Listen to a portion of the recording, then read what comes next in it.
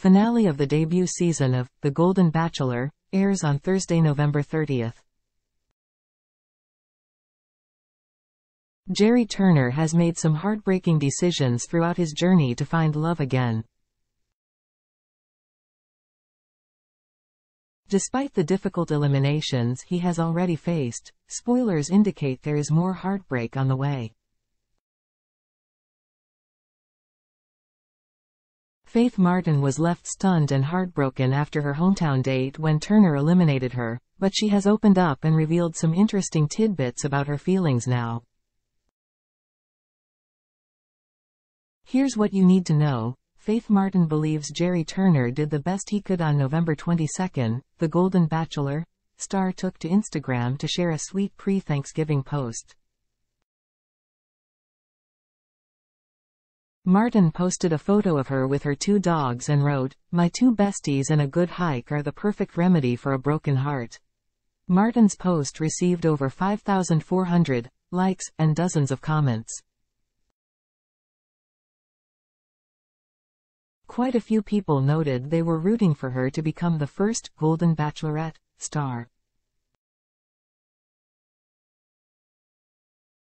Some others declared Turner made a mistake in eliminating her.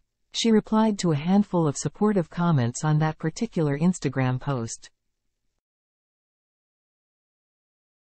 In one reply, Martin shared, I'm healing slowly and feeling hopeful.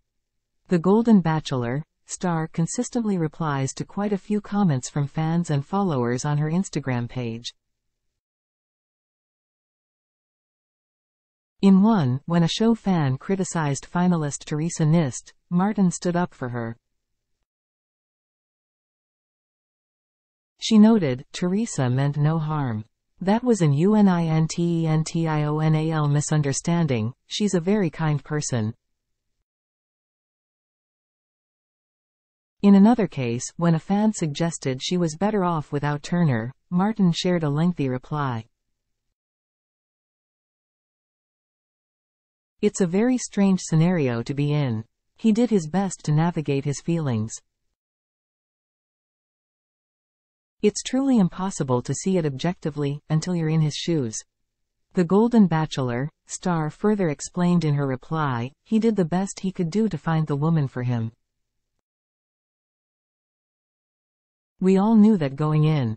No one can be blamed for how they feel. We are all mature adults. And we will all be okay. Despite her heartbreak over Turner eliminating her, Martin's response continued, it's never a bad thing to be loved. Even if it's short-lived. I have no regrets. I don't think any of us do.